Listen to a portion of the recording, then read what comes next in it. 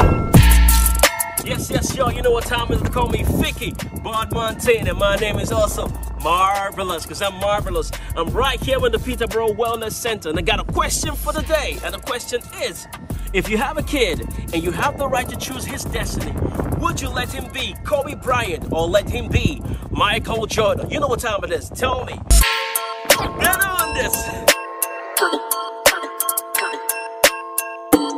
You have the opportunity to choose what your son will become, either Kobe Bryant or Michael Jordan. What would you choose and why? Um, gotta be Kobe Bryant. You know, I watch a lot of movies. You know, I found like his biography very like chill and everything. So Michael Jordan. Any reasons why? He's a GOAT. He's a GOAT. Uh, I don't know that much about the NBA, but I would say Kobe Bryant. Any reason why? Is it, is it uh, like I've heard that name like multiple times, so Yeah. I think he's quite a popular dude in NBA. So Michael Jordan. Any reason why? He's like, a f- you know, famous.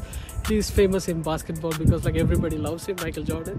Mhm. So yeah, and he's also a newer generation, like close to our generation, you know.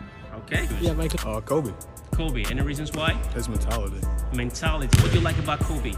Uh, he's fearless. He's tough. Um, makes good shots. Oh, that's amazing. Michael Jordan Okay. because I like I think he's well I think he's a he's like a gre- a, be, a better player player than than Kobe Okay. and I think he like he has a stronger work work ethic he like puts I think he puts more more time to his work uh, like over his over, over his career and like mm, and and like yeah I think he like works works harder has has like a better mindset Okay.